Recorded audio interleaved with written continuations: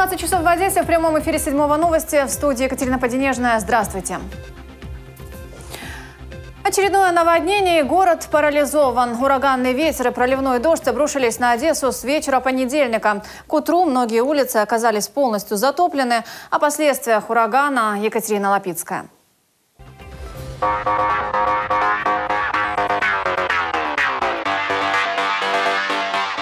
Улице Балковской движение почти полностью парализовано. Из канализационных люков фонтаном вздымаются потоки нечистот.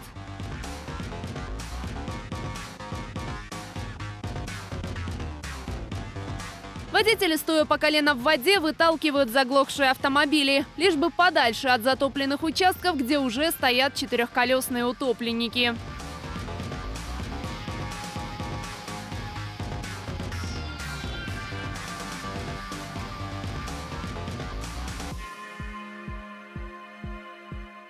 Иномарку пришлось извлекать из центра водного бедствия на Балковской.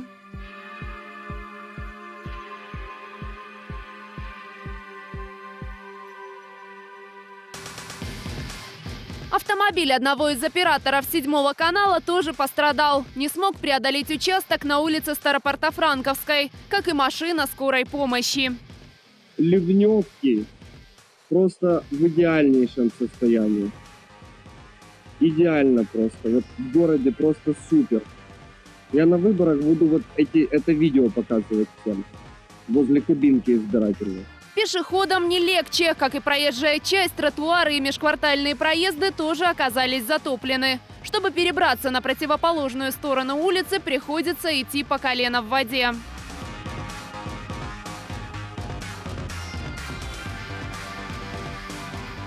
Район Пересыпи тоже по традиции затопило. Плотный поток машин оказался в водном плену. Преодолеть этот участок удается не всем. Приходится выталкивать заглохшие автомобили.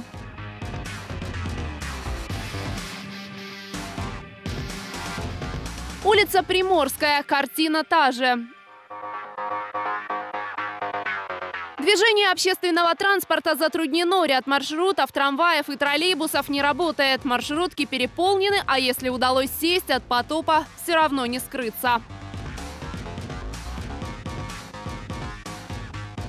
Первый же дождь показал эффективность работы муниципалитета. Ливневки забиты и не справляются слову, накануне потопа Горсовет в который раз признал неисправность ливневой системы. На проектировку новой хотят потратить 23,5 миллиона гривен. Общая смета проекта около 3 миллиардов.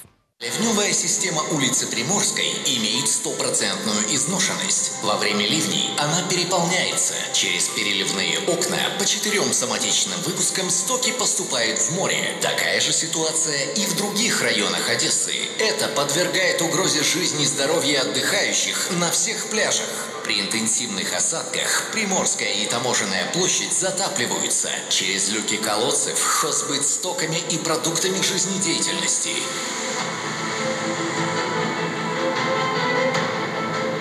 Пока ищут деньги, одесситам и дальше придется в дождливую погоду добираться на работу вплавь. Екатерина Лапицкая, Алексей Барановский, Дмитрий Колцин, Дмитрий Бондаренко. Седьмой канал. И пока к другим темам, к непогоде вернемся. В Черноморске задержали опасную преступную группировку. Банда занималась кражами, вооруженными нападениями и торговлей наркотиками. Прикрывали преступный бизнес четверо правоохранителей, по двое полицейских и прокуроров. Сломанные бронированные двери, в квартире вооруженные бойцы Альфы. Обыски в Черноморске начались с 7 утра. В доме у этого мужчины нашлись маски, дубинки и холодное оружие. Полный набор налетчика. С руки не слетал. Угу. В соседнем от города селе обыскивают частный дом. Внутри задержанный хозяин, во дворе плантация конопли. Более 20 бережно высаженных кустов. Вчиняли кримінальні правопорушення пов'язані з незаконним обігом наркотичних речовин. В черноморскую банду входило минимум 10 человек. Кроме краж и торговли наркотиками, ОПГ подозревают в вооруженных нападениях, избиениях и других преступлениях. У зловмисника вилучено награбовані гроші та цінні речі, зокрема хутро, зброю, наркотики, відмички, маски, альпіністське знаряддя тощо. Банда годами безнаказанно работала и в Черноморске, и в Одессе. Все благодаря надежной крыше правоохранительных органах. По данным следствия, преступникам помогали двое местных полицейских и двое прокуроров. Нами встановлено, що співучасники е, цього злочину, які є правоохоронцями, вони розробляли план, яким чином відвернути е, підозру від е, осіб, які насправді вчинили цей злочин, і покласти на якихось міфічних третіх осіб, яких будуть довго-довго розшукувати. На след банды оперативники вышли благодаря другому громкому делу. В декабре СБУ заподозрила восьмерых полицейских из Черноморска в пытках. Как выяснилось, один из палачей в погонах к тому же входил в ОПГ. Вскоре всем задержанным изберут меру пресечения. Прокуратура будет настаивать на аресте. Константин Гак, Константин Лужневский. Седьмой канал.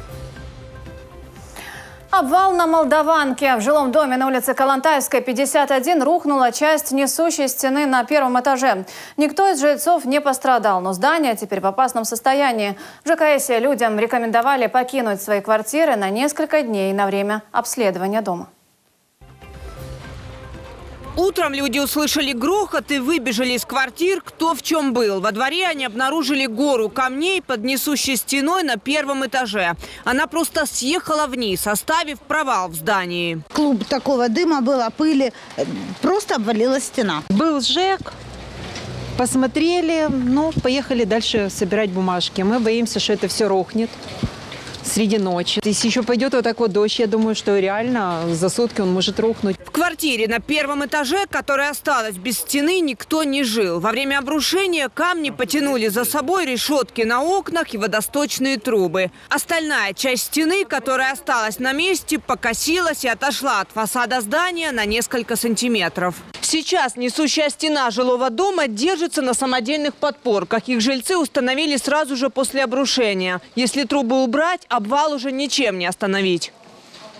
По словам жильцов, это здание построено в конце 19 века, и здесь никогда не делали капитальный ремонт. Последние несколько дней дом скрипел, а с фасадной стены осыпался камень. Холодильник опустился на стенку уже, лег. Трещит все время. Это как вот как песочек сыпется, треск такой вот идет. Как между камнями, наверное, что-то осыпается. У меня э, э, пол и стена, она дребезжит уже практически в течение двух суток. Просто дребезжит. Мне предложили просто эвакуацию. Пока квартиры не рухнули, люди лихорадочно собирают вещи. Многие жильцы находятся во дворе и на улице. Под проливным дождем. Куда идти, не знают. Сказали, что на три дня подписывайте бумаги, что на три дня вы съезжаете с квартир. Я, спра- я- я- я спрашиваю, куда съезжать, он говорит, что можете съезжать в ЖКУ в наши комнаты. С раннего утра все в ожидании экспертов жилищно-коммунальных служб и представителей городской власти. Но никого нет. Прошу направить э, начальника участка данного ЖЭКа по месту вызова. Как поняли, прием. На месте сотрудники ГСЧС, но они не знают, что делать. Говорят, если завалы разобрать, дом может рухнуть. Лучше не рисковать. Тут стена кри- кривая, она вся в трещинах. Естественно, тут очень опасно разбирать ее. Произойдет полный обвал. Где-то представители дома управления для того, чтобы хотя бы с ними можно было разговаривать. Ну, сам будет ЖЭК заниматься этим вопросом. Ничего не горит, жизни не угрожает. Жизни как раз угрожает. Сегодня в опасном флигеле во дворе на Калантаевской 51 остается жить шесть семей. Мы будем и дальше следить за их судьбой. Юлия Федорова, Евгений Руденко, Седьмой канал. Ну, я напомню, за прошедшие сутки в Одессе выпало более 100 миллиметров осадков. Без света остались тысячи домов, рухнули десятки деревьев. Городские службы подвели первые итоги последствий непогоды. Городские чиновники, прошедшие в Одессе дождь, называют рекордным с 1887 года. Говорят, выпало больше 100 миллиметров осадков. Уточняют, такое количество воды коммуникации не могут принять технически. Ночью шел дождь, в принципе, э, степенно, и особых проблем не возникало. А вот когда пошел уже ливневый э, сброс э, осадков, тогда у нас начал подниматься уровень воды, и коллектора не справлялись с поступающими атмосферными осадками. По всему городу затопило улицы, расположенные в низине. Помимо утонувших автомобилей, от воды пострадали электроподстанции. Учитывая то, что большое количество ТП было подтоплено в связи с э, большим количеством атмосферных осадков, то на сегодняшний момент у нас в отключении 51 ТП, которое э, обслуживает э, 2040 домов частного сектора и э, 62 дома, которые имеют э, повышенную этажность. Помимо подтопленных подстанций, оборвала и линия электропередач. В облэнерго поступило около 100 заявок. В первую очередь мы обезвреживаем те обрывы проводов, которые могут привести к жертвам э, среди населения. Вот мы, у нас зафиксировано таких обрывов 17 пока. И вот мы их сейчас практически все обезвредили. Что это означает? Это означает, что мы их на опоре обрезали, люди остались без электроэнергии, но на земле их уже нет. В результате непогоды рухнули минимум 67 деревьев, говорят в Горзелентресте. Их уборкой занимаются 8 бригад. Повредило по городу порядка 8 машин. Сложность заключается в том, что мы приезжаем на вызов по машинах, но э, еще не было полиции, не было страховых компаний, поэтому приходится уезжать. От коммунального предприятия «Городские дороги» работают 150 специалистов и 35 машин спецтехники. Чиновники опасаются, что если ливень пройдет еще раз, последствия могут быть тяжелее. Александр Полуев, Алексей Барановский, Седьмой канал. Тем временем о сильных осадках синоптики предупреждали за три дня. Сводки о приближении шторма давали чуть ли не с пятницы. При этом сегодняшняя стихия бьет рекорды. Выпало уже более 100 миллиметров. Месячная норма для Одессы для сентября месяца составляет э, средняя, многолетняя составляет 36 миллиметров. То есть, э, естественно, можно сделать вывод, что у нас выпало около двух с половиной э, месячной нормы осадков только за, получается, вот эти 12 часов. Отмечу, к 9 вечера дождь закончится. Завтра существенных осадков не ожидается. Зато прогнозируют порывы северо-западного ветра до 20 метров в секунду ночью.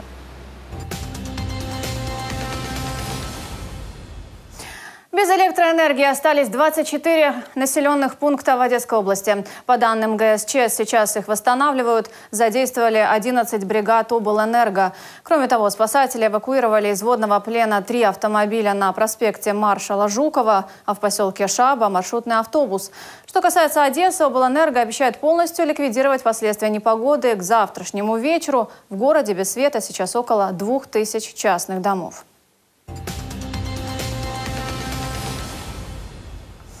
Реки воды и фонтаны из канализации были на таможенной площади. Правда, очистить ливневки и проезжую часть пришлось сотрудникам Одесского порта. Коммунальщики там так и не появились.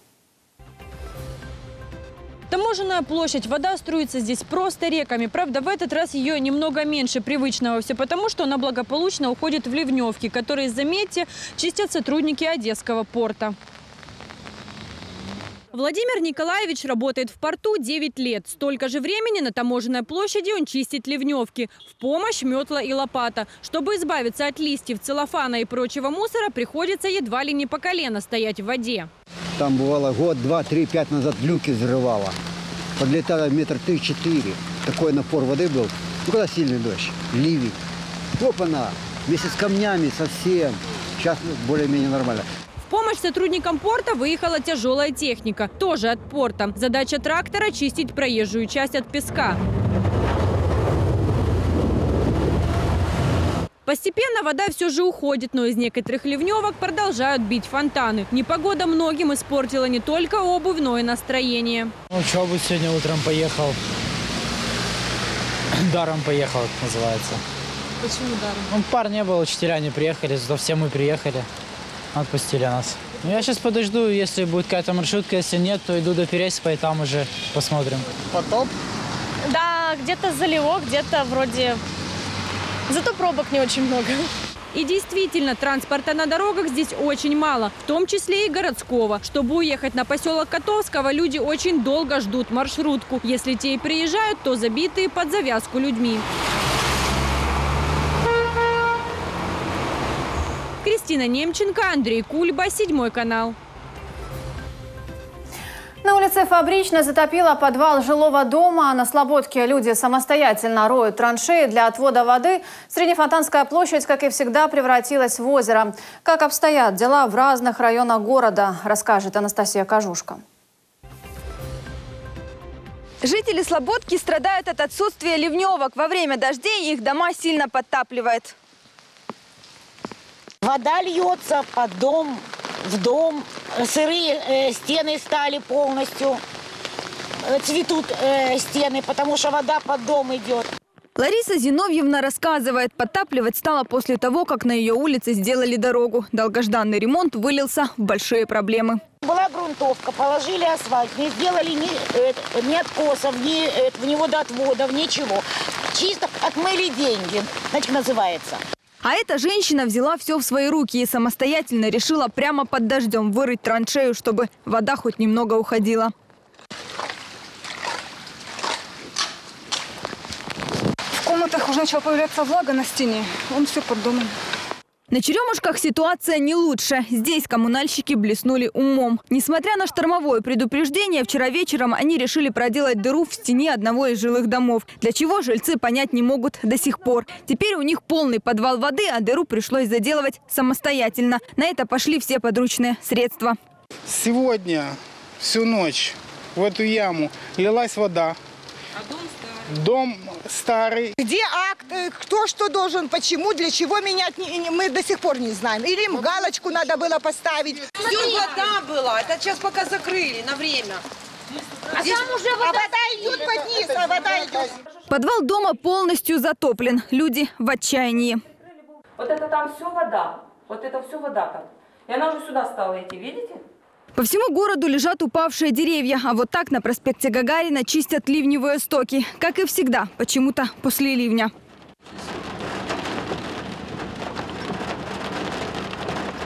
На Среднефонтанской площади прямо на перекрестке теперь озеро. Здесь машины проезжают с трудом, при этом теряя номерные знаки. Некоторые не растерялись и предлагают забрать их за деньги. Средняя такса 200 гривен. Сейчас вся эта дорогостоящая коллекция находится на Среднефонтанской 57. Анастасия Кожушка, Валентин Мирза, Седьмой канал. Но я отмечу, что с найденными автомобильными госномерами в патрульной полиции советуют поступать так. Если найдены номерные знаки, первый вариант – отдать их патрульным, которые проезжают, либо находятся рядом, и инспектора придут, отдадут в, администра- в административную практику, где владелец может прийти забрать. Это Королева 5, третий этаж, 301 кабинет. А Если же водитель утерял и не знает, как быть, то, конечно же, тоже обращайтесь к нам.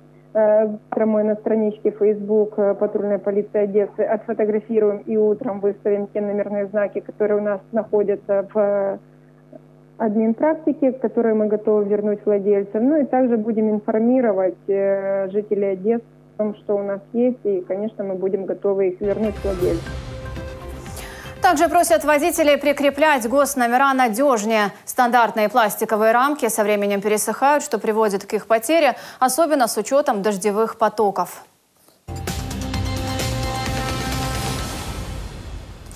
Жители улицы Толбухина не могут выйти из своих домов. Несколько недель назад коммунальщики вырыли траншеи, чтобы начать ремонт труб. Закончить планировали до 18 сентября. Но, несмотря на прогнозы синоптиков о непогоде, в сроки не уложились. В результате грунт размыло, и ямы только увеличились. Машины местных жителей попали в ловушку. Утром я пришла по косточку э, болота, загрузла. Вот там вот канализационный лу- люк, я туда чуть не съехала. С утра на дорогах зафиксировали рекордные десятибальные пробки. Дозвониться и вызвать такси было проблематично. В некоторых службах трубку не брали вовсе, а в остальных повышенные тарифы и часы ожидания. Наши корреспонденты позвонили по 10 различным номерам и узнали, сколько в непогоду стоит проезд по городу. Машин нет. Машин нет? Да. А какие тарифы, расскажите? Полуторный тариф, девушка. Скажите, а машинки есть у вас? Надо ждать. А сколько примерно? Пока не могу сказать, полчаса, час. Мгм. А тариф у вас какой? Э, полуторный. От э, Вильямса 42 и до Десантной 14. Сколько будет стоить? 305. Около часа ждать. А тариф какой? Полуторный. Скажите, от Вильямса 42 до Десантной 14. Сколько это будет стоить? 210 гривен. Скажите, а тариф какой у вас сегодня? Повышенный. Рекордная 5. До пятой станции, до остановки пятой станции. 111. У нас тариф обычный, но у нас нет машин, ждут люди машины с 7 утра, уехать не могут. Понятно. А причина? Причина затоплено полгорода, пробки стоят, аварии, все что угодно. И пока одни одесситы жалуются на непогоду, выкладывают в социальные сети фотографии с утонувшими автомобилями и затопленными улицами, некоторые жители пытаются находить в этом позитив и купаются прямо в лужах, благо уровень воды позволяет.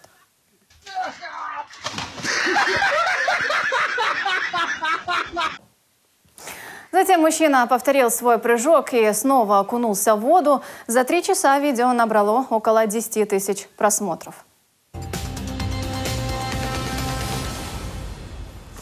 И к другим темам еще один наглядный пример помощи малому бизнесу в кавычках. У сапожника забрали его мастерскую. Одессит остался без места работы и оборудования, с долгами один на один.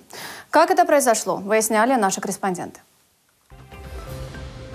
Принято считать, что настоящий сапожник сам должен быть без сапог. Александр Девятков, видно, что называется сапожных дел мастер от Бога, так как остался не только без обуви и без оборудования, на котором эту самую обувь чинил, но и даже без своей будки башмачника. У меня на Эльфа Петрова 27 э, украли сапожную действующую мастерскую.